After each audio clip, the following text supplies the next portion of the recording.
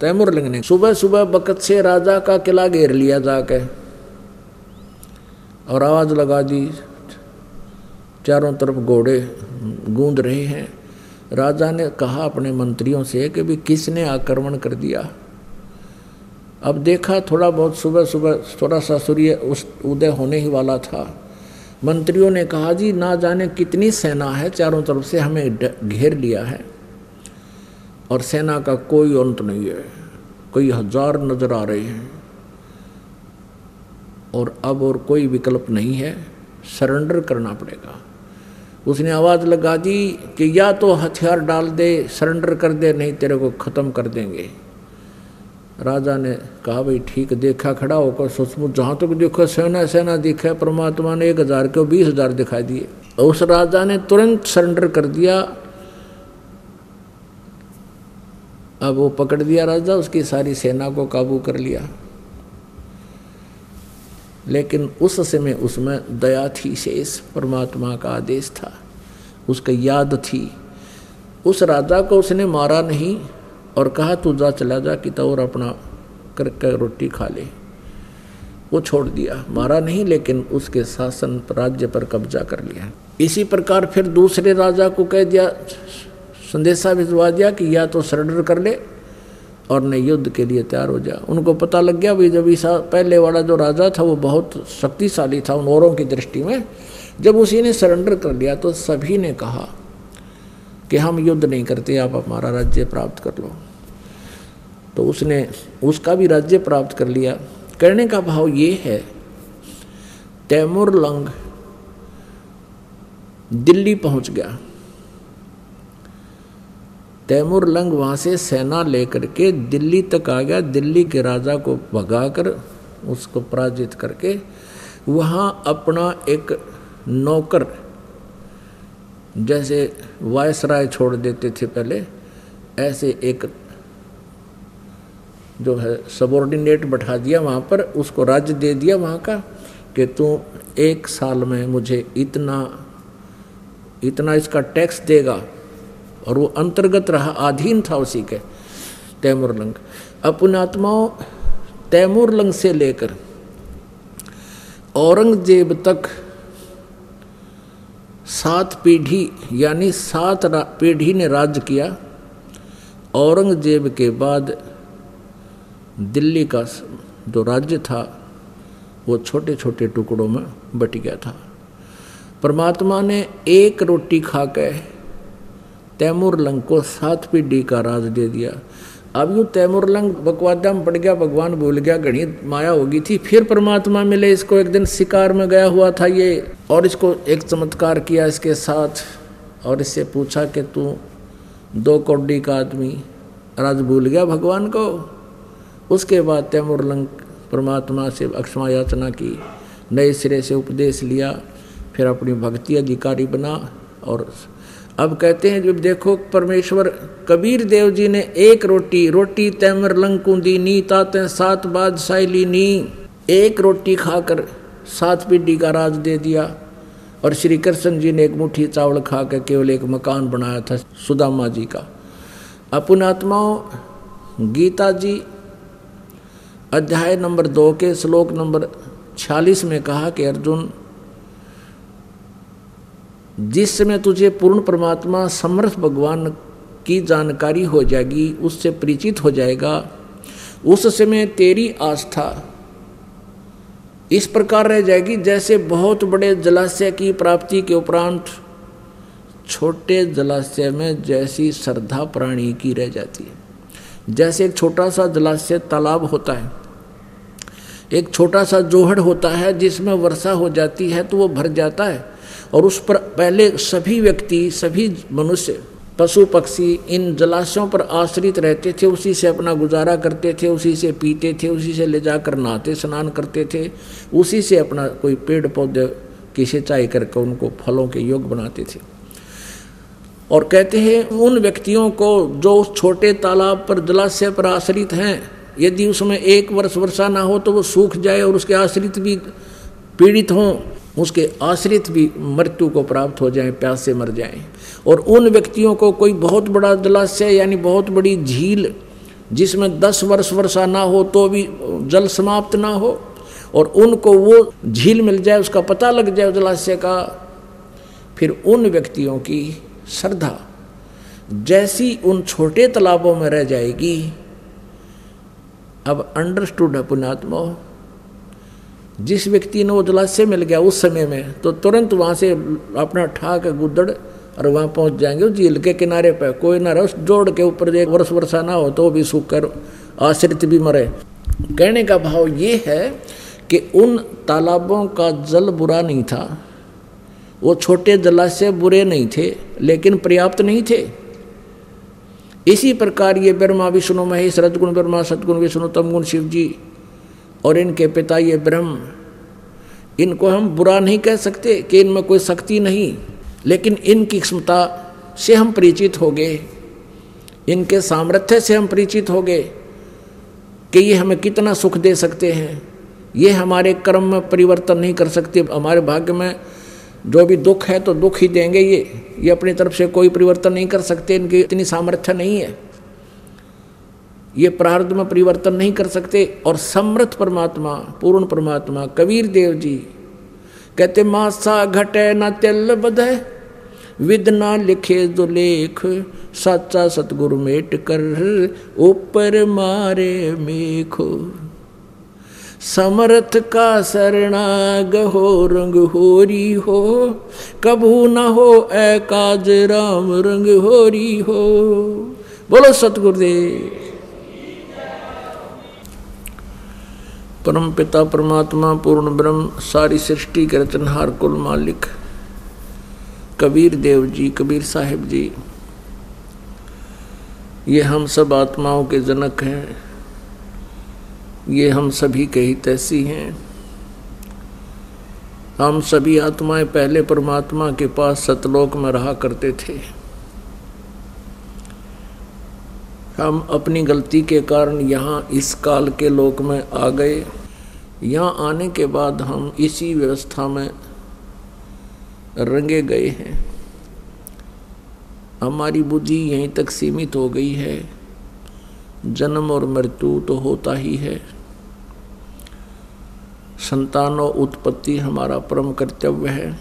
इनका पालन पोषण करना। और फिर हमारी बेशक मृत्यु हो जावे, कोई दिक्कत नहीं। परमेश्वर कबीर जी, पूर्ण ब्रह्म सारी सृष्टि के रचनहार ये हमें आकर के ज्ञान कराते हैं कि तुम गलत स्थान पर रह रहे हो। कहते हैं, आगे गए नबावड़े रहते भी सब्जा और बिन साहेब की बंदगी कहीं ठोर ठिकाना ना। कि पहले जो मृत्यु को प्राप्त हो चुके वो चले गए। और बाकी जो शेष है, उनको भी एक दिन चला जाना है। बिन साहेब की बंदगी, साहेब मन परमेश्वर, सत्य पुरुष, पूर्ण ब्रह्म कंप्लीट गॉड पूर्ण परमात्मा। की भक्ति बिना कहीं ठोर ठिकाना ना, यानी कहीं पर भी आप जी स्थिर नहीं हो, सथाई नहीं रह सकते। आज आप अपने परिवार में कितनी अच्छी तरह सेट हो? प्रत्येक प्राणी बहुत अच्छी तरह अपने घर में, परिवार में और समाज के अंदर बहुत खुशी के साथ रह रहा है। और ये पता होते हुए कि हम कभी भी मृत्यु को प्राप्त हो सकते हैं। फिर भी नो प्रॉब्लम नो टेंशन या कोई बात हुई? ये एक विशेष विचारणीय विषय है, ये जो हम भूल रहे हैं। यहाँ हम सथिर हुए बैठे हैं। हम ये मानकर बैठे हैं कि 80 90 वर्ष तो हम सेट हैं। बताइए, क्या थ्योरी हुई हमारी? या क्या सोच हुई? अस्सी नब्बे वर्ष तो हम सेट हैं फिर कहाँ हो गए? फिर कहाँ जाएँगे? तो परमात्मा कहते हैं, चलने से पहले सोच रहे भाई, तुम कहाँ करोगे विश्राम? कोई भी प्राणी घर छोड़ने से पहले किसी दूर देश में जाता है तो पहले ही वो आइडिया लगा लेता है कि किसी धर्मशाला में रुकूँगा, या कोई रिश्तेदार या मित्र प्यारे का कोई एड्रेस उसका पता नोट करता है, वहाँ रात काटूँगा। परमात्मा कहते, तुम संसार छोड़कर जाते हो, कभी चिंता ही नहीं करते कि आगे हमारा कहाँ विश्राम होगा? इससे बड़ी नालाकी और क्या होगी? इससे बड़ी भूल आपकी क्या होगी? तो पुण्यात्माओं, सत्संग में ये ज्ञान होता है आत्म ज्ञान होता है और परमात्म ज्ञान होता है। अभी तक हमें केवल अज्ञान सुनाया गया था ऋषि मह ऋषि मंडलेश्वरों के द्वारा। ये अध्यात्म ज्ञान से परिचित नहीं थे, ये तत्व ज्ञानहीन अर्थात ज्ञान नेत्रहीन अंधे थे। ये केवल कहते थे आत्म चिंतन करो। आत्मज्ञान हो जाता है तो जीव का कल्याण हो जाता है। आत्म चिंतन का अर्थ है, आत्म ज्ञान का अर्थ है, अपने विषय में जानकारी, तू कौन है, कहाँ से आया था? और इस जन्म मृत्यु के चक्कर में तू कैसे फंसा हुआ है? ये तो है आत्मज्ञान और परमात्म ज्ञान भी कौन है परमात्मा, कैसा है भगवान, कहाँ रहता है, उसकी क्या पहचान है? उसका प्रमाण कहाँ है जो हम भगवान बताने जा रहे हैं कि ये है परमात्मा, ये है कंप्लीट गॉड पूर्ण परमात्मा? तो वो कहाँ प्रमाणित है?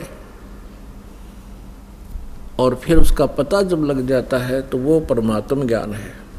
तो आज सत्संग सुबह चल रहा था। आपने सत्संग में सुना कि परमात्मा को पहचानने के लिए उसके कुछ लक्षण होते हैं।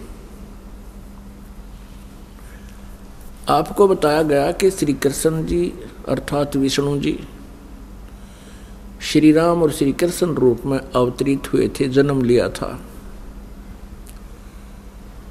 और उन्होंने जो लीलाएँ की, उन्हीं के आधार से हमने उनको भगवान मान लिया।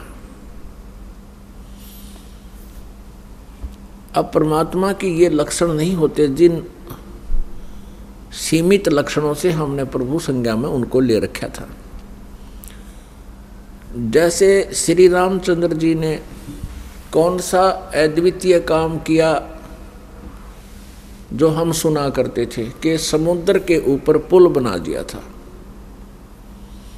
जब लंका पर चढ़ाई करनी थी, सीता जी को छुड़वाने के लिए और तैतीस करोड़ देवताओं की बंद छुड़वाने के लिए जो काल इसने, रावण ने बंद कर रखे थे अपनी कैद में, तैतीस करोड़ देवता। अब वो पुल कैसे बना था? श्री रामचंद्र जी से पुल नहीं बना था, तभी तो वो समुद्र में खड़े होकर के समुद्र से ही याचना कर रहे थे। कि मुझे रास्ता दे दो। और तीन दिन तक घुटनों पानी में खड़ा होकर श्री रामचंद्र जी ने समुद्र से याचना की, लेकिन वो नहीं माना। तब उसको जलाने के लिए अग्निबाण छोड़ना चाहा। तब समुद्र विपर रूप धारण करके बाहर आया और कहा श्री रामचंद्र जी से कि आप मुझे मत जलाओ, इसमें बहुत बड़ा संसार बसा हुआ है। आपकी जो समस्या है, उसका समाधान नल और नील के पास है। नल नील नाम के दो सेवादार सैनिक थे उसमें, श्री राम की सेना में। अब वो नल और नील के पास बताया कि उनके हाथों से पत्थर भी तैर जाते हैं, डूबते नहीं। अब यहाँ थोड़ा सा संक्षिप्त विवरण देना पड़ेगा कि नल और नील को ये शक्ति कहाँ से प्राप्त हुई थी? नल और नील, ये दोनों आपस में मुसेरे भाई थे, यानी मौसी के बेटे थे। इनकी माताएँ बहन थी। इन दोनों के ऊपर एक बहुत बड़ा भयंकर कष्ट था, तीन ताप का। सभी ऋषि महर्षियों से इन्होंने याचनाएँ की थी। और देसी वैद्य, जितने भी वैद्य थे, आयुर्वेदिक, उनसे भी उन्होंने ट्रीटमेंट कराया, कोई राहत नहीं मिली। फिर ऋषि महर्षियों और झाड़ फूक करने वालों से सब जगह उन्होंने अपना इलाज करवाया, कोई राहत नहीं मिली। अब ऋषि महर्षियों ने, संतों ने ये बता दिया कि तुम्हारे ये प्रारब्ध में लिखा हुआ तुम्हारे भाग्य में लिखा हुआ है, इसको कोई नहीं मिटा सकता। नल और नील तुम्हें आजीवन भोगना पड़ेगा। वो महादुखी थे। जिस व्यक्ति को ये पता लग जाए कि तेरा रोग ला इलाज है, असाध्य हो चुका है तो उसकी सतिथि वो स्वयं ही जान सकता है। फिर भी आत्मा के अंदर एक विशेष कसक होती है, उसको परमात्मा का दिया हुआ एक विशेष ज्ञान होता है उसको आत्मा को, कि परमात्मा हमारे सब दुखों को दूर कर सकता है। इसलिए इसको इतना जवाब मिलने के बाद भी ये प्रयत्नशील रहती है। इसी उद्देश्य से नल और नील कबीर परमेश्वर जी के सत्संग में चले गए। उस समय त्रेता युग में परमेश्वर कबीर देव जी मुनिंदर नाम से आए हुए थे। मुनिंदर ऋषि नाम से प्रकट थे सहश्री रहते हैं परमात्मा। और मुनिंदर ऋषि जी की उन्होंने कहीं, कई जगह से महिमा सुनी थी कि बड़े महापुरुष हैं। उनके आशीर्वाद से, भयंकर से भयंकर रोग समाप्त हो जाते हैं। भाग्य बदल देते हैं वो प्रभु। नल नील को विश्वास नहीं रहा था कि ऐसे ऐसे मंडलेश्वरों के पास हम जा चुके हैं। ऐसे ऐसे सिद्धों के पास जा चुके हैं। हमें कोई राहत मिली नहीं, फिर भी इतफाक परमात्मा की रजा होती है। उनको सहज में कबीर परमेश्वर जी का ये सत्संग सुनने का अवसर मिला। जो ही परमेश्वर के चरणों में उन्होंने नमस्कार किया, परमेश्वर ने आशीर्वाद दिया, दोनों के वो रोग ठीक हो गए कति स्वस्थ हो गए। बड़े अचंबित हुए। चरणों में पड़ के रोने लगे। हे परमात्मा, आप कहाँ छुपे थे? सारी कहानी बताई कि हमारे को सबने ये जवाब दे दिया था कि अब तुम्हारा कहीं इलाज नहीं है। हे परमेश्वर, आपने बहुत दया करी हम दुखी दिनों पर। तब परमेश्वर ने कहा, बेटा, ये तो एक कष्ट दूर हुआ है। आपके भाग्य में तो बहुत कष्ट हैं असंग जन्मों से तुम जन्म और मर रहे हो। उसका परमानेंट ट्रीटमेंट ये है कि आप उपदेश लो हमारे से। अन्यथा और इससे भयंकर आपत्ति भी आप पर आ सकती है। अब नल नील ने कहा, भगवान, हम आपके शिष्य, आप हमारे गुरु हमें उपदेश दे दीजिए। परमेश्वर ने उपदेश दे दिया। और कहा, बेटा, सत्संग में आते हैं साधु संत, भक्त कोई रोगी बीमार, क्योंकि कबीर परमेश्वर के पास भी दुखी प्राणी ज़्यादा आते थे। कोई लंगड़े, लूले, कोई अंधे, गुंगे, कोई वृद्ध बीमार तो कहते थे, भगवान के भाई इनकी सेवा किया करो। परमात्मा की आत्माएँ हैं। तो नल और नील वृद्धों के, बीमारों के बर्तन, कपड़े साफ़ करने के लिए सत्संग के दौरान सत्संग के दिनों में जब वो वहाँ आकर भंडारा होता था, वहीं रुकते थे। दरिया के किनारे सत्संग हुआ करते थे। तो वो क्या करते थे? उनके बर्तन कपड़े ले जाते। पहले साबुन वगैरह होते नहीं थे। पहले कपड़े को बहुत देर तक जल में गीला करना पड़ता था। और बर्तनों को भी ऐसे ही पहले पानी में भिगो दिया करते थे। तो दरिया के किनारे उन कपड़ों को वो दोनों कुछ पत्थर के नीचे दाब देते थे और जल में भिगो देते थे। ऐसे ही बर्तनों को पानी में डबो करके रख देते थे।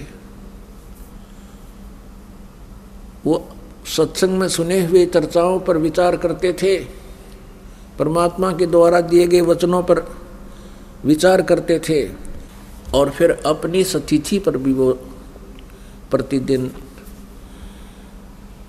जो है चिंतन करते थे, हमारी क्या बुरा हाल था हमारा। कोई जीवन नहीं था नल नील आपस में बतलाते थे। परमात्मा आए हैं, जनता पता नहीं कब समझेगी, कहते हैं कोई मानता नहीं है। इस तरह की चर्चा वो किया करते थे। इतने में क्या होता कि कुछ तो कपड़े बह जाते पानी में, जो वहाँ भिगो रखे थे। कोई बर्तन बह जाता था उनको पता नहीं चलता। वो जितने भी शेष बचे होते हैं, उनको धो मांझ कर ला कर रख देते। किसी का कपड़ा नहीं, किसी का गिलास नहीं, किसी की थाली नहीं। क्योंकि सब अपने अपने बर्तन साथ लेकर जाते थे। तो वो कहने लगे, भाई, हमारे बर्तन इतने लेकर गए थे, तुम वापस कम लाए हो। अब हम गरीब, हम कहाँ जाएँ? कोई कहता, हमारे वस्त्र ऐसे थे, आप वापस पूरे नहीं लाए हो। अब वो ये कहते कि हम तो जितने ले गए थे, उतने ही लाए हैं। नल नील ये कहते थे कि जितने हम लेकर गए थे, हम तो सभी ले आए, वहाँ कोई नहीं रहा है। जो जल में बह जाते थे, उनका उन ज्ञान नहीं होता था।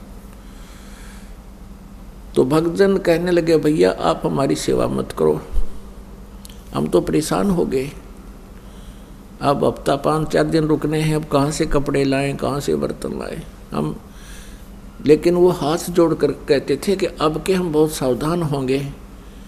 आप गुरुदेव को ना बताना, नहीं तो हमारी सेवा छीन ली जाएगी। और उनको ये डर था कि कहीं परमात्मा हमसे रुष्ट हो जाए और सेवा छीन ले तो हम कहीं फिर से उसी प्रकार कष्ट ना आ जाए हमारे पर, उसी तरह दुखी ना हो जाए।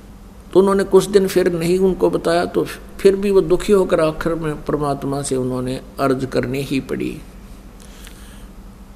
परमेश्वर मुनिंदर जी के सामने कहा कि, गुरुवर, ये नल नील की इरादा तो है अच्छा कि ये सेवा करें, लेकिन भगवान, ये हमारे वस्त्र ले जाते हैं वहाँ देखने वालों ने बताया कि ये वहाँ बैठ कर के परमात्मा की चर्चा करने लग जाते हैं। कपड़े और बर्तन दरिया में बह जाते हैं। हमारी इतनी अर्ज़ है, इनसे प्रार्थना, इनसे आदेश दे दो। ये हमारे वस्त्र और कपड़े ना ले जाओ, हम अपने आप कर लेंगे, जैसा हमसे बनेगा। इनका इरादा गलत नहीं, प्रभु। ये ध्यान मस्त हो जाते हैं, आपके वचनों को सुन सुनकर गदगद होते हैं, कभी रोते हैं, कभी हँसते हैं। जब नल और नील को यह पता चला कि आज तुम्हारी शिकायत हो गई है, और गुरुदेव कहीं तुम्हारी सेवा ना छीनने और नाराज़ ना हो जाए, हाथ जोड़कर खड़े हो गए। कहने लगे, प्रभु, अवश्य हमसे भूल बनी होगी। लेकिन हमारा इरादा ठीक है, प्रभु, हम चाहते हैं सेवा करें। और परमात्मा के चरणों में गिर कर रोने लगे कि हमारी सेवा ना छीनना परमेश्वर। हम बहुत ध्यान देंगे। वो शिकायत करता कहते भगवान, ये प्रत्येक बार ऐसा ही बोलते हैं। और ये वहाँ जाकर के भूल जाते हैं, भगवान की चर्चा में ये ज़्यादा ही मस्त हो जाते हैं। इनके बस की बात नहीं तब परमात्मा ने देखा और कहा कि, बेटा, तुम्हारी सेवा नहीं छीनते, खूब सेवा करो। आशीर्वाद दे दिया कि आज आपके हाथ से जल के अंदर कोई भी वस्तु नहीं डूबेगी, पत्थर भी क्यों ना हो? उस आशीर्वाद से, उसके बाद परमात्मा के आशीर्वाद से नल और नील के हाथों से छोड़ा गया पत्थर भी जल पर एज इट इज़ रुक जाता था, चाहे उसके ऊपर कोई खड़ा हो जाए। और तो कहना ही क्या? कपड़े, थाली वो एज इट इज़ वहीं रहते थे जब तक वो स्वयं उठा नहीं लेते। तो उनकी समस्या हल हुई। इस चीज़ का पता था, इस समुद्र देव को। उसने आकर रामचंद्र जी से कहा कि आपकी सेना में नल और नील नाम के दो संत हैं, भक्त हैं। और उनके हाथों में ऐसी शक्ति है कि उनके द्वारा छोड़ा गया पत्थर मेरे ऊपर एज इट इज़ रुक जाएगा। अब नल और नील को बुलाया गया। अपन आत्माओं, ये जीव मार खाता है।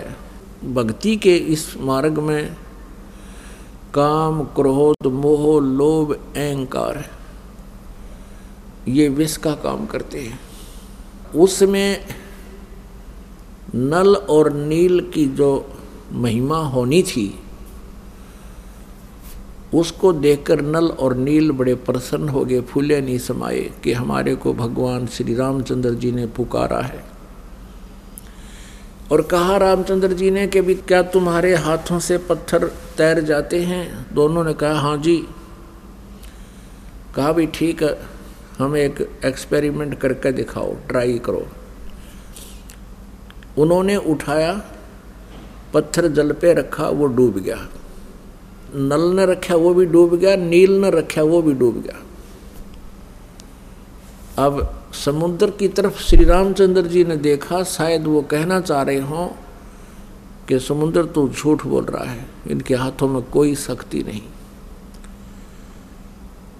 अब समंदर ने कहा, समुद्र ने कहा कि भगवान, इनके हाथों में शक्ति थी, लेकिन आज इन्होंने अवश्य कोई त्रुटि की है। तब समुद्र ने कहा कि, नलनील, आज तुमने क्या गलती कर दी? दोनों ही वो बहुत अचंबित थे कि आज क्या हो गया हमें, फिर उनको याद आया। कि आज हमने अपने गुरुदेव को याद नहीं किया।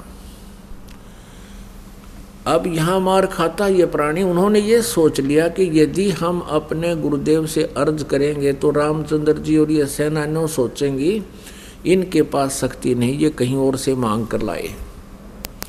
इस अभिमानवश उन्होंने गुरु अपने मालिक को याद नहीं किया, परमेश्वर को और अपनी प्रभुता दिखानी चाहिए।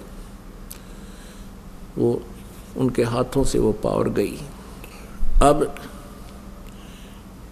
समस्या जो की तो तब नल और नील ने परमात्मा को याद किया।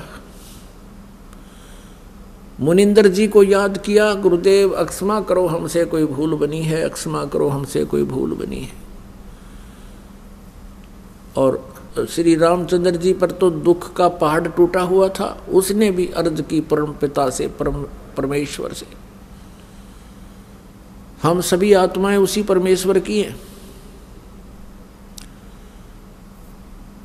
और पुण्यात्माओं कहते हैं, जहाँ जन की महिमा सुनो, तहाँ मैं गवन करंत। तो मुझे पुकारते हैं। पिछले संस्कारी कोई हंस होते हैं, उनके लिए भी कहते हैं, मैं तुरंत वहाँ पहुँच जाता हूँ। मुनिंद्र रूप में परमेश्वर कबीर जी सामने आते हुए नज़र आए, नल और नील का ध्यान उधर गया जिधर परमात्मा आ रहे थे। दृष्टि गई उधर देखा कि गुरुदेव आगे गुरुदेव आगे, वो आगे महाराज, वो आगे महाराज। सभी ने देखा एक टक, सामने एक महापुरुष ऋषि आ रहे हैं। नल और नील ने दंडवत प्रणाम किया। श्री रामचंद्र जी ने भी चरण लिए श्री रामचंद्र जी ने कहा कि भगवान, आज आपके शिष्यों से ये पत्थर नहीं तैरे, जल के ऊपर पत्थर नहीं तैरे। परमेश्वर ने कहा कि आज के बाद इनके हाथों से ये तैरेंगे भी नहीं। क्योंकि इनके अंदर अभिमान आ गया, ये भूल गए भगवान को। ये स्वयंभू बनना चाहते थे। आज के बाद इनके हाथों में कोई पावर नहीं रहेगी। अब परमात्मा याद दिलाते हैं कि जैसे माता गर्भ को रख यतन बनाए, ठेस लगे तो क्षीण हो तेरी ऐसे भक्ति नसाए।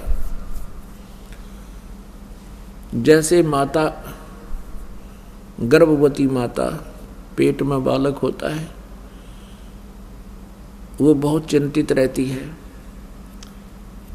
रात्रि के समय करवट लेते समय भी वो उदड़क जाती है कि कहीं मेरे बच्चे पर ज़ोर तो नहीं आ गया। मेरा गर्भ नष्ट तो नहीं हो जाएगा। चलती है तब भी ऊँचे नीचे पर पैर रखकर बहुत ध्यान से चलती है कहीं मेरा बच्चा, मेरा गर्भ ना खराब हो जाए। तो ऐसी सावधानी करने से माता अपने गर्भ को प्रफुल्लित करके एक लाल प्राप्त कर लेती है। बेटी या बेटा। तो यहाँ परमात्मा कहते हैं, जैसे माता गर्भ को रखे, यतन बनाए और ठेस लगे तो छिन्न हो तेरी, ऐसे भक्ति जावे। तो इस प्रकार आप जी ने अपनी भक्ति को बचा के रखना है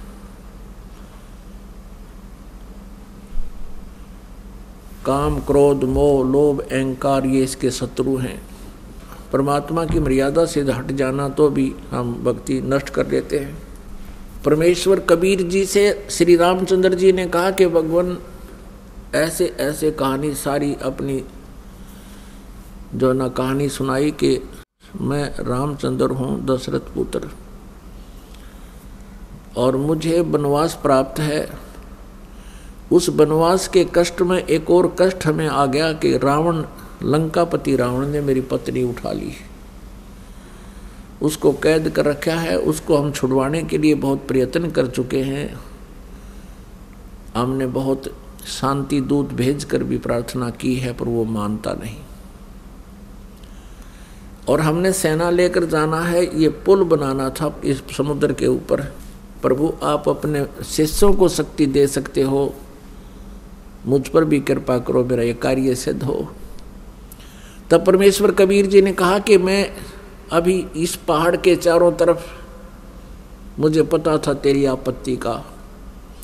इस पहाड़ के चारों तरफ़ अपनी सोटी से, एक पहाड़ था वहाँ से कम से कम चार पाँच किलोमीटर की दूरी पर।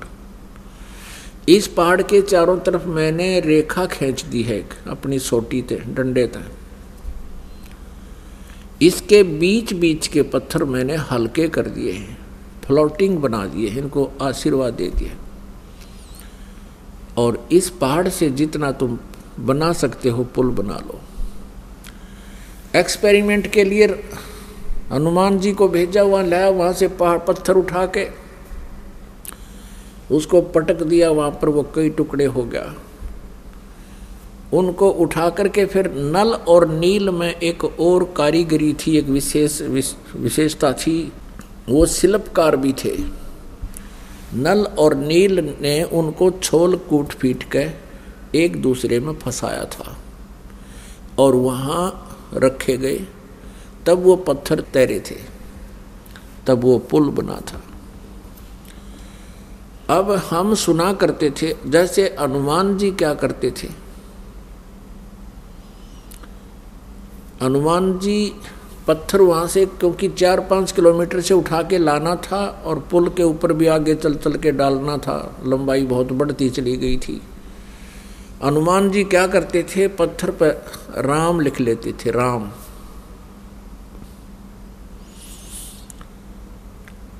और स्वयं भी अपना मंत्र जाप करते हुए चल पड़ते थे। अपने आत्मा हनुमान जी श्री रामचंद्र जी को एज ए राम नहीं पूजा करते थे। क्योंकि जिस समय जिस समय सुग्रीव को हनुमान जी मिले थे, उस समय वो पहले ही राम राम जप रहा था। तो वो उनका एक नित्य नियम था कबीर साहब कहते हैं, आप राम कहे, ओरा राम कवावे, और जिस मुख राम ना उच रहता मुख फिर कवावे। जैसे हम बोलते हैं, सत साहिब तो सामने वाला भी कहेगा, सत साहिब। सत साहिब का अर्थ होता है, अविनाशी परमात्मा। राम कहो, साहिब कहो। अब पहले राम राम बोलते थे तो सामने वाला भी राम राम बोलता था। जैसे कोई कहता था, चाचा, राम राम। तो वो दो, तीन, चार बार बोल जाता, राम राम राम राम राम राम, भाई राम राम। तो ऐसे इस उद्देश्य से हनुमान जी लिख लेते थे, राम। और जो भी वो मंत्र जाप करते थे, सामने वाला भी कोई पढ़ता, वो भी समझ जाता कि राम शब्द लिखा है, राम का अर्थ है, राम राम। यानी अपने मंत्र को जाप करते रहो, भगवान को याद रखो। वो लिखने का उद्देश्य ये था। और कोई यूँ कहे के हनुमान ने श्री राम नाम लिख दिया, इसलिए पत्थर तिर गए। हनुमान जी वहीं थे, श्री राम वहीं थे। अब पहले हम क्या सुना करते थे कि श्री रामचंद्र जी ने पुल बना दिया समुद्र पर।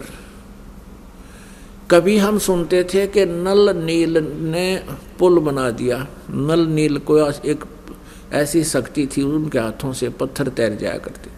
फिर हनुमान जी ने राम नाम लिख दिया, इसलिए पत्थर तैर गए। कोई सिर पैर नहीं था इन बातों का, ये लोक वेद था। यदि नल नील के हाथों में पावर थी और उससे तैर गए थे तो हनुमान जी ने राम नाम लिखने की क्या ज़रूरत पड़गी फिर श्री रामचंद्र जी का क्या सहयोग रहा उसमें? पुल के बनाने में कौन सा आशीर्वाद रह गया? उनका जब वह तो आप याचना कर रहे थे समुद्र से। तो पुण्य आत्माओं कहते हैं, जगत का पेखना पेख्या, धनी का नाम ना लेखा। जगत का पेखना पेख्या, धनी का नाम न लेखा। कि धनी माने उस समर्थ भगवान का तो कित ज़िक्र भी नहीं। जगत का पेखना पेख्या के उसने न्यू कर दिया। हनुमान ने राम नाम लिख दिया, पत्थर तिरगे नर नील के हाथ में शक्ति थी, पत्थर तिरगे रामचंद्र जी ने पत्थर तिरा दिए। कहते हैं, जगत का पेखड़ा पेखा एक दूसरे को तुम करे, उसने ऐसे कर दिया। जिसने ये किया, उसका ज़िक्र भी नहीं। धनी का कि नाम ना लेखा। अब परमात्मा कबीर जी बताते थे, समझाया करते, काटे बंधन विपत में, कठिन कियो संग्राम चिन्नो रे नर प्राणिया, ये गरुड़ बड़ो के राम हम क्या सुना करते थे?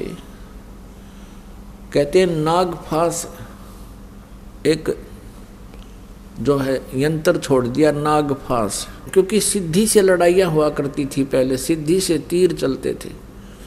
वो नागफास एक ऐसा यंत्र था, उसमें से कहते हैं, और कई हज़ार लाखों करोड़ों नाग उत्पन्न हो गए सांप। और उन सर्पों ने रामचंद्र जी, लक्ष्मण अनुमान अंगद समेत पूरी सेना को जकड़ दिया, जैसे ईंख बाँध दिया करें। नो हाथ और चारों तरफ़ सांप लिपट गए, उनका कत्ती नीचे लेकर ऊपर तक ऐसे फण कर गया। हाथ नो के नो रह गए सबके। यानी पूड़ी सी बाँध के खड़ी कर दी। अब कहते हैं उस समय गरुड़ को याद किया, श्री रामचंद्र जी ने। गरुड़ पक्षी को और गरुड़ पक्षी ने आकर फिर वह सांप काटे। वह सर्प काट दिए सारे। तब भगवान श्री राम बंधन मुक्त हुए। अब परमात्मा कबीर जी कहते हैं, अरे, तुम्हारे हृदय माथे की कहाँ गई? विवेकहीन हो गए तुम। काटे बंधन विपत में कठिन कियो संग्राम, और चिन्हो रे नर प्राणिया, ये गरुड़ बड़ो के राम। ये तुम्हारे राम को भी जिसने बंधन मुक्त किया, जिसकी बंध छुड़वाई तो गरुड़ बड़ा हुआ कि तुम्हारा यू राम बड़ा हुआ? कहते, समुद्र पाट लंका गयो, सीता को भरतार अगस्त ऋषि ने ये सातों पी लिए, इनमें कौन करतार तुम एक बात से ये मानते हो कि भगवान श्री रामचंद्र जी ने समुद्र पर पुल बना दिया, अपनी शक्ति से। तुम्हारी बात बड़ी कर लेते हैं। यदि आप इसी आधार से इनको समृद्ध शक्ति मानते हो कि समुद्र के ऊपर से पुल बना लिया और इस समुद्र को, सातों समुद्रों को अगस्त ऋषि ने पी लिया था, एक घूट में। और जो श्री रामचंद्र जी के लिए पहाड़ हो रहा था, उसको समुद्र पुल बनाने मुश्किल हो रही थी उसको तो इनमें कौन करतार? अगस्त ऋषि शक्तिशाली हुआ, श्री रामचंद्र हुआ, जिसने सातों समुद्र पी लिए अगस्त ऋषि ने। फिर तुम श्री कृष्ण जी को भगवान मानते हो। उनमें से एक ये भी आधार पॉइंट बनाते हो कि भगवान श्री कृष्ण जी ने गिरिराज पर्वत को उठा लिया था, गोवर्धन पर्वत को उठा लिया था। अब परमात्मा कहते हैं गोवर्धन श्री कृष्ण धार्यो, द्रोणोगिरी हनुमंत, शेष नाग सब सृष्टि उठारा इनमें कौन भगवंत? हनुमान जी ने तो द्रोणागिरी पर्वत पाठ उठाया। श्री कृष्ण जी ने गोवर्धन उठा लिया। और तुम लोक वेद सुनाते हो, तुम्हारी पौराणिक कथाएँ हैं, पौराणिक के शेष नाग ने सारी सृष्टि, सारे ब्रह्मंडों को अपने सिर पर दर रखा।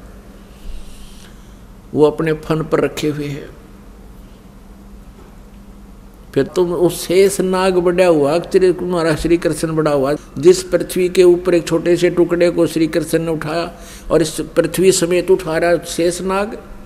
तो कौन भगवान हुआ? अपने आत्माओं, तत्व ज्ञान के अभाव से हम अभी तक उआ बाई का ज्ञान सुना करते थे। इन ऋषि महर्षियों को, मंडलेश्वरों को, और इन ब्रह्मा, विष्णु, महेश को अध्यात्म ज्ञान का बिल्कुल भी पता नहीं। अपुण्यात्मा ये शब्द आज से 600 वर्ष पहले परमात्मा कबीर जी ने कहा था कि माला घाल हुए हैं मुक्ता, ये सटदल उआ बाई बकदा इनको कोई ज्ञान नहीं है, ये उआ बाई बक रहे हैं। इनको वेद ज्ञान नहीं है। अब यहाँ थोड़ा सा प्रमाण देंगे आपको। कि ब्रह्मा, विष्णु, महेश जी को भी ज्ञान नहीं। क्योंकि श्री ब्रह्मा जी को इस ब्रह्मांड के अंदर सबसे अधिक ज्ञाता माना जाता है वेदों का। और ब्रह्मा जी से ही ज्ञान सुना श्री विष्णु जी ने, और ब्रह्मा जी से ही ज्ञान सुना श्री शिव जी ने। अब अपने पुराणों में, अपने ही सदग्रंथों में प्रमाण आपको दिखाएँगे कि न तो श्री विष्णु जी को दात्मिक वेदों का ज्ञान नहीं था, न ब्रह्मा जी को, और न ही सतयुग के ब्राह्मणों को। जब सतयुग के ब्राह्मणों को नहीं पता, ऋषियों को, ऋषि को होते ब्राह्मण को तो फिर और अन्य युग वालों का तो ज़िक्र छोड़ दो। अब आपको दिखाते हैं श्री देवी भागवत। गीता प्रेस गोरखपुर से प्रकाशित है। इसके कौन है संपादक? संपादक है हनुमान प्रसाद पोदार चिमन लाल गोस्वामी। प्रकाशक एवं मुद्रक हैं गीता प्रेस गोरखपुर, गोविंद भवन कार्यालय, कोलकाता का संस्थान। है ये इनके फैक्स और फ़ोन नंबर है। ये देखिएगा, इस पवित्र पुराण के पहले सकंद में श्रीमद देवी भागवत, प्रश्न नंबर 28 पर, नारद जी और व्यास जी की गोष्ठी हो रही है। Vyas ji is the writer of eighteen Purana and ये चारों वेदों का, गीता जी का और इन अठारह पुराणों का श्री सुधा सागर का ये व्यास जी राइटर है, लेखक है, और ये नारद जी से वार्ता कर रहा है। नारद जी ने कहा, महाभाग व्यास जी, तुम इस विषय में जो पूछ रहे हो, ठीक यही प्रश्न मेरे पिताजी ने भगवान श्री हरि से किया था। नारद जी के पिताजी हैं, ब्रह्मा जी। देवादि देव भगवान जगत के स्वामी हैं, लक्ष्मी जी उनकी सेवा में उपस्थित रहती हैं दिव्य कौष्टमणि उनकी शोभा बढ़ाती है। वे शंख, चक्र, गदा लिए रहते हैं पीताम्बर धारण करते हैं, चार भुजाएँ हैं। यानी पूरी डेफिनेशन बता दी विष्णु जी हैं। वे तरातर जगत के आश्रयदाता हैं, जगत गुरु एवं देवताओं के भी देवता हैं। ऐसे जगत प्रभु भगवान श्री हरि महान तप कर रहे थे, विष्णु जी तपस्या कर रहे थे उनकी समाधि लगी थी। यह देखकर मेरे पिता ब्रह्मा जी को बड़ा आश्चर्य हुआ।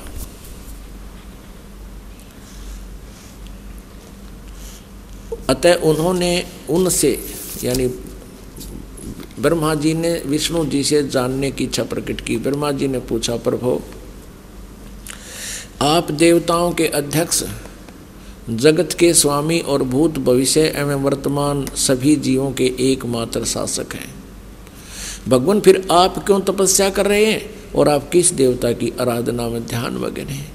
मुझे असीम आश्चर्य तो ये हो रहा कि आप देवेश्वर, यानी सब देवों के मालिक, सब भगवानों के भगवान, ब्रह्मा जी, विष्णु को कह रहा, भगवानों के भगवान है, एवं सारे संसार के शासक होते हुए भी समाधि लगाए बैठे हैं। अब विष्णु जी ने के उत्तर दिया? ब्रह्मा जी के विनित वचन सुनकर भगवान श्री हरि बोले, ये वचन बोले। श्री हरि उनसे कहने लगे ब्राह्मण सावधान होकर सुनो, मैं अपने मन का विचार व्यक्त करता हूँ। देवता, दानव, मानव, सब यही जानते हैं कि तुम सृष्टि करते हो, मैं पालन करता हूँ और शंकर संहार किया करते हैं। किंतु फिर भी वेद के पारगामी पुरुष अपनी युक्ति से यह सिद्ध करते हैं कि रचने, पालने और संहार करने की यह योग्यता जो हमें मिली है। इसकी अधिष्ठात्री शक्ति देवी है। वे कहते हैं कि संसार संसार की सृष्टि करने के लिए तुम में राजसी शक्ति का संसार हुआ है। इसी ये भी सिद्ध हो रहा कि रजगुण, ब्रह्मा, सदगुण, विष्णु, तमगुण, शिव जी हैं। मुझे सात्विक शक्ति मिली है और रुद्र में तामसी शक्ति का आविर्भाव हुआ है।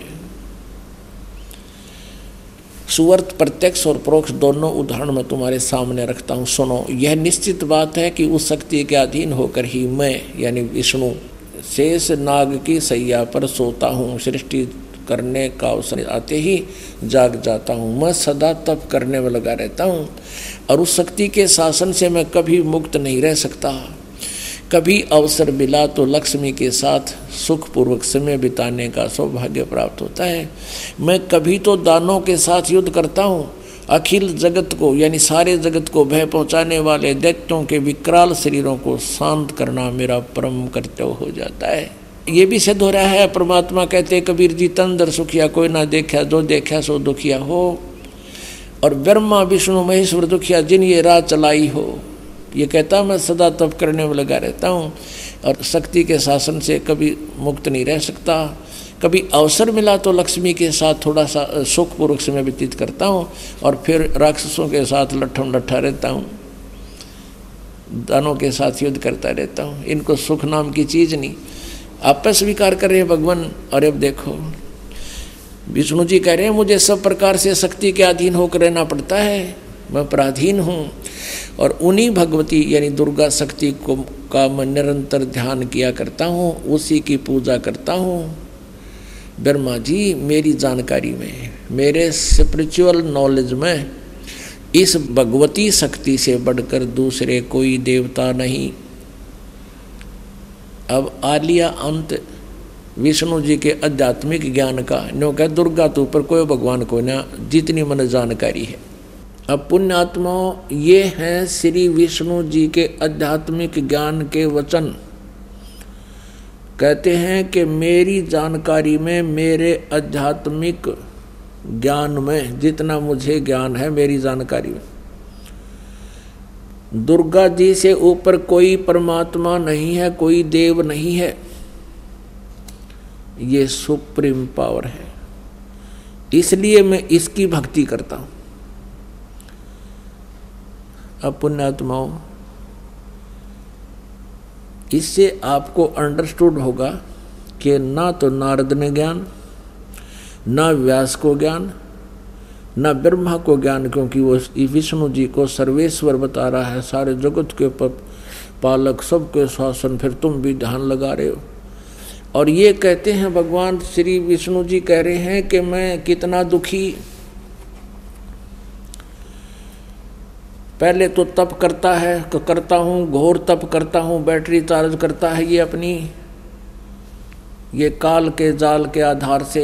और फिर राक्षसों को मारता सिद्धि शक्ति से, वो पाप इसके बैड अकाउंट में लिखे जाते हैं और बैटरी डिस्चार्ज हो जाती है, फिर तप करके चार्ज करता है। और खुद स्वीकार करते हैं भगवान विष्णु जी के, मैं महादुखी हूँ कभी तो तप करता हूँ, फिर राक्षसों के साथ युद्ध करता हूँ। कभी समय मिला थोड़ा बहुत तो लक्ष्मी के साथ कुछ समय के लिए रह पाता हूँ, ना तो यहाँ ऐसी दुर्गति हो रही है। और यहाँ परमात्मा कहते हैं, तंदर सुखिया, कोई ना देखा जो देखा सो दुखिया हो। उदय अस्त की बात करे मैंने सब का करा विवेका हो। कहते हैं, साच कहूँ तो जग नहीं मानने, पर झूठ कही ना जाई हो। ये ब्रह्मा विष्णु शिव जी दुखिया। जिन ये राह चलाई हो।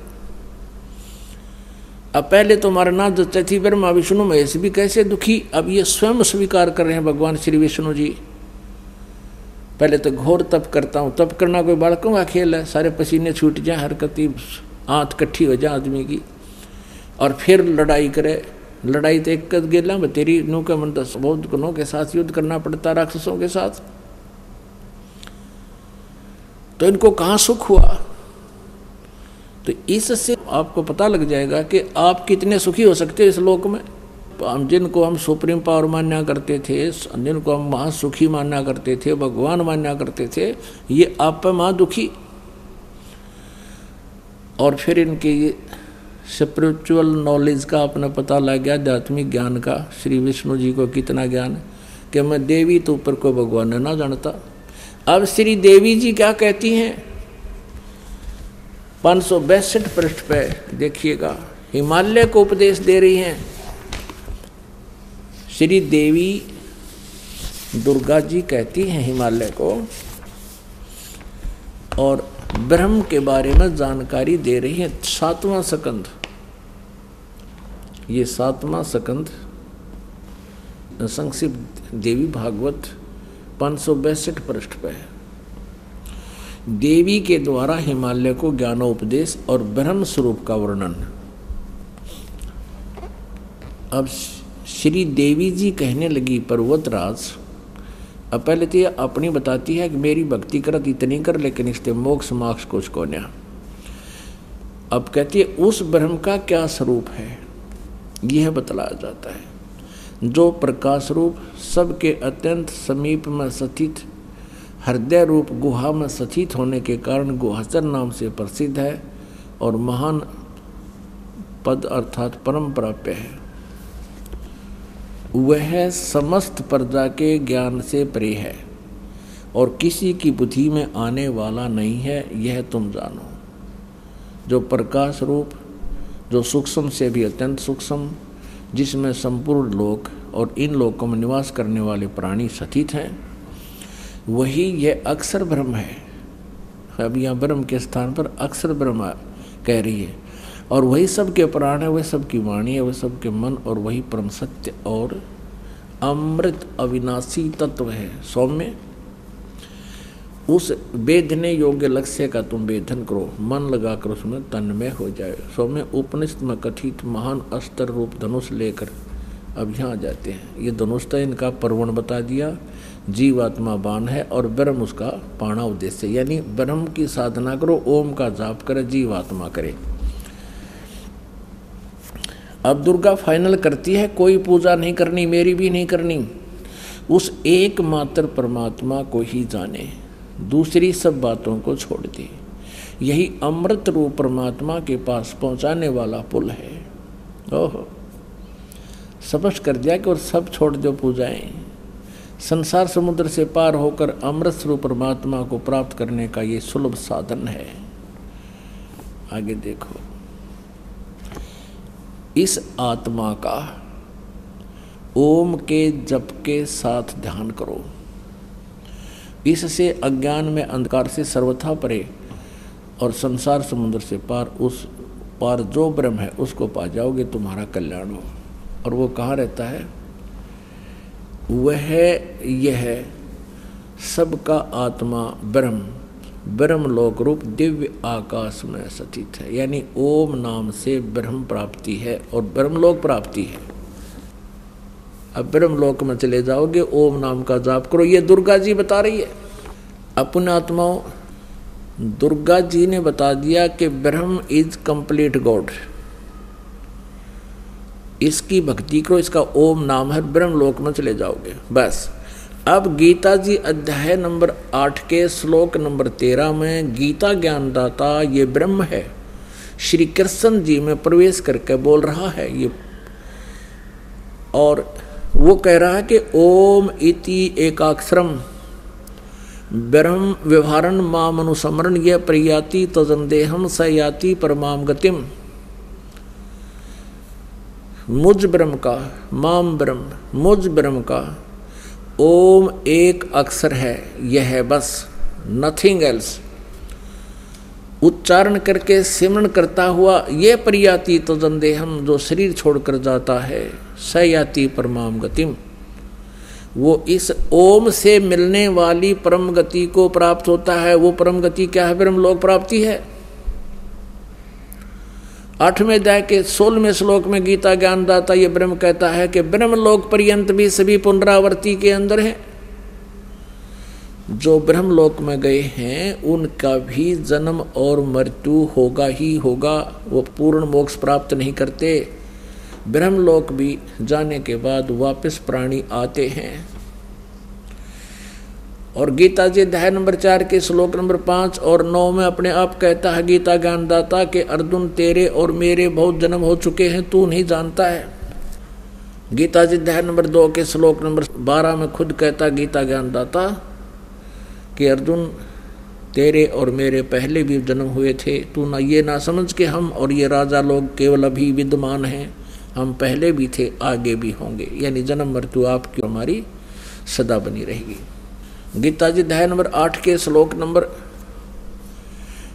एक में अर्जुन ने पूछा कि भगवान, आपने सातवें अध्याय के उनतीसवें श्लोक में जिस तत्परम के बारे में कहा कि तत्परम को जानकर और जो आध्यात्मिक, पूरे आध्यात्मिक ज्ञान से परिचित हो जाते हैं, तत्परम से परिचित हो जाते हैं और सब कर्मों से परिचित हो जाते हैं, वो केवल जरा और मरण से छूटने का ही प्रयत्न करते हैं।